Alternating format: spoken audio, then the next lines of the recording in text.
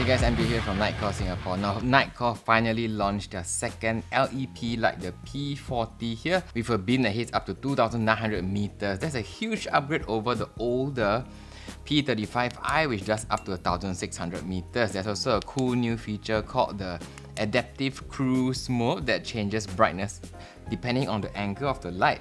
Gimmick or actually useful, I'll show you how it performs in real world use and compare it with normal LED lights like the MH40 Pro here, alright? So there's one big kicker though, the P40 costs around 340 USD. Quite a big investment for casual users, but it's essential if you work in search and rescue, law enforcement, hunting, marine patrol, anything that needs serious throw distance. So is this the best dual beam LEP light right now? Let's break it down. So before we get into it, I'm giving away this P40. So subscribe, drop a comment on what you use this light for. Once we hit 1000 likes, I'll pick a winner and reply directly to the comment. So quick LEP explanation for anyone new to this stuff. Normal flashlights uses LEDs, they make light directly. LEP uses a blue laser that hits a phosphor disc to create white light. Sounds complicated, but the result is simple. It's a crazy tight beam concentration like this. Can you see the far end compared with a LED light like this? You see?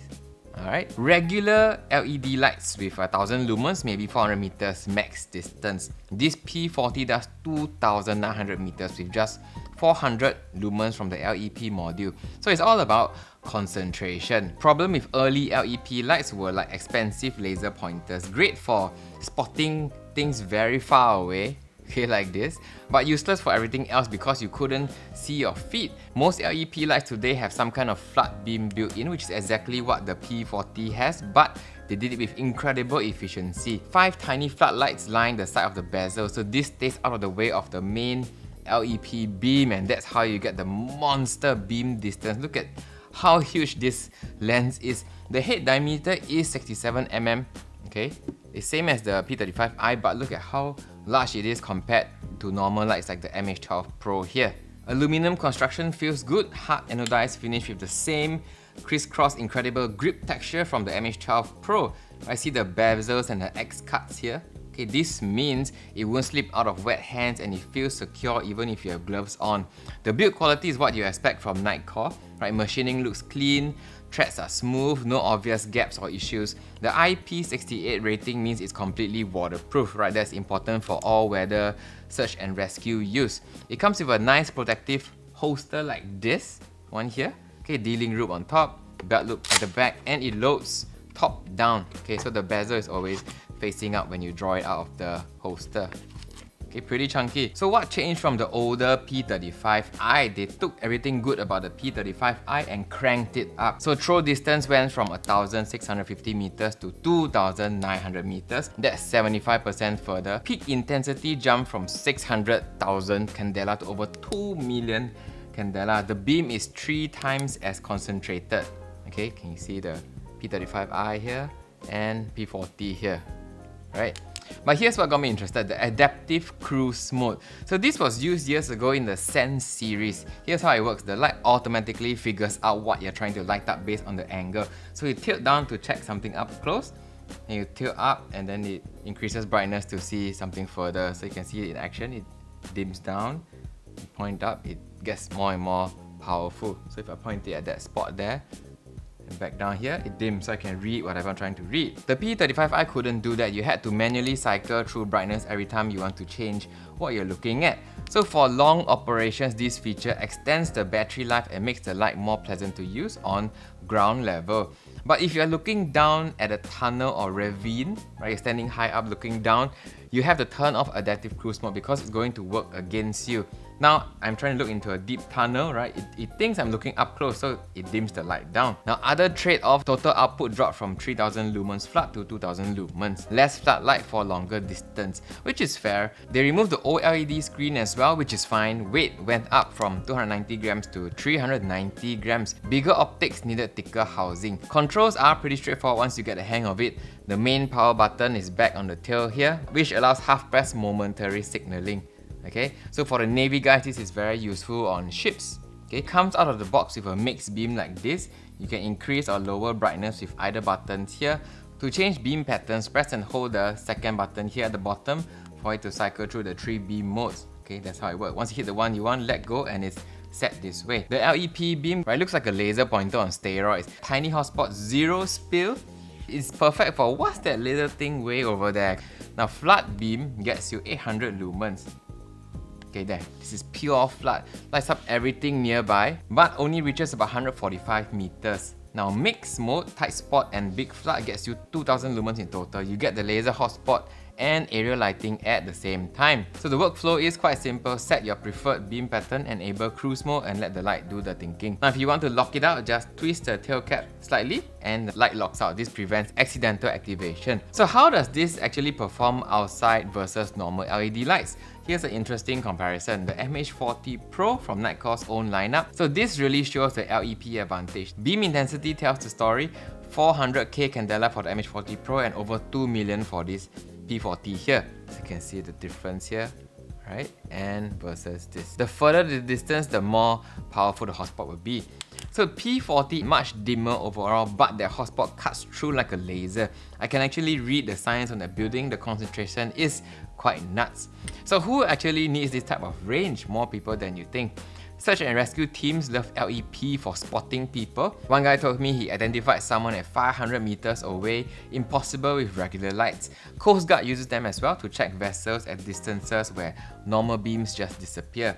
Law enforcement likes them for perimeter checks, right? You can scan rooftops, fence lines, covering huge areas with just a two-man team. You can also check high-rise buildings from the ground up. 20 story windows, no problems. You can then switch to flood mode when you need to search things up close range. There you go. Main thing is you're not carrying separate lights anymore. One tool does extreme distance and close-up work. So how about other LEP lights on the market? The closest competitor is probably the Acebeam W35 here. Right, look at the shape and size, bezels are almost exactly the same. Now this does 800 lumens LEP hitting 2600 meters with 1.69 million candela. The electronic zoom feature is genuinely useful. Look at that side switch lets you go from LEP spot to flood beam in just one hand. Next up is the Acebeam M1 which puts out about 3500 lumens from the LED and 700 lumens from the LEP. So about 4200 total versus this P40's 2000 lumens. The M1 has this cool rotating LEP head that lets you focus the beam, but even at minimum focus, it only hits 1600 meters with about 600k candela. The P40 hits over 2 million. Here's another huge LEP advantage that people don't talk about enough, which is thermal efficiency. So let me show you something interesting. I've got both lights here at room temperature, the P40 LEP and MH40 Pro LED. Going to turn them on both on turbo and maximum output to see which one heats up faster. MH40 Pro is at a full 3500 lumens. Now the heat gun will show the temperature on the screen as they climb. Watch this time lapse. So keep watching, the MH40 Pro is going to hit thermal step down first, automatically reducing brightness to prevent damage. The P40 can run longer at full power before needing to step down. So there it is, MH40 Pro steps down after just a few minutes of turbo. The P40 is still going strong at a full 2000 lumen mixed mode. So real world impact even when running both LED flood and LEP systems together, the P40 still has better thermal management than pure LED light. You get sustained performance without the aggressive heat build up. So if you need to light up a whole area, MH40 Pro wins with the 3500 lumens flood if you need to identify specific targets at extreme distance, the LEP destroys LED performance. The included battery is removable, 2170 size, 5500 capacity, which is the second highest possible at the moment. You can upgrade this into a 6000 mAh capacity battery, which gets you even bigger runtime. Turbo gives you an hour at 2000 lumens, high mode gives you about 7 hours at 1500 lumens, good for extended ops, and medium hits about 12 hours low goes for 20 hours. So you can fast charge via USB-C port here. Okay, it's hidden here, waterproof, 0 to full in about 2 hours 20 minutes. Now when the light is on, there is a battery indicator here as well under the up and down buttons. Constant on like this means battery is above 50%. If it starts to slow blink, it means battery is below 50%. Fast blink means battery is below 10% and it's time to charge. So should you buy the P40? It depends on what you need it for. If you do search and rescue, law enforcement, hunting, marine patrol, anything needing serious throw distance, this is probably the best dual beam LEP right now. The adaptive brightness alone makes it worth upgrading from older LEP lights. Don't buy it for general use, it's overkill and expensive for normal flashlight stuff. This is specialized gear. So if you want a camping light or for around the house, just go with the MH12 Pro instead. This is for specific jobs that need extreme throw. Now for people who have been waiting for LEP tech to become actually practical instead of just impressive, this is it. The dual beam setup finally makes LEP useful beyond just extreme distance spotting. Now the P40 shows where LEP technology is heading. Nitecore took what they learned from the P35i, fixed the biggest problems and added features nobody else has. Adaptive brightness, dual beam versatility, sets the bar for what these lights can do. These are all in stock now at nitecore.sg slash P40. Serious money, but for the right jobs, nothing else comes close. 60 day money back guarantee, 3 year warranty. Order link is in the description box below. So not sure if this fits your need, drop a comment with what you actually use these lights for and I'll point you in the right direction. So if you want more gear breakdown like this, subscribe and hit the bell. See you on the next one. I'm Jay signing out.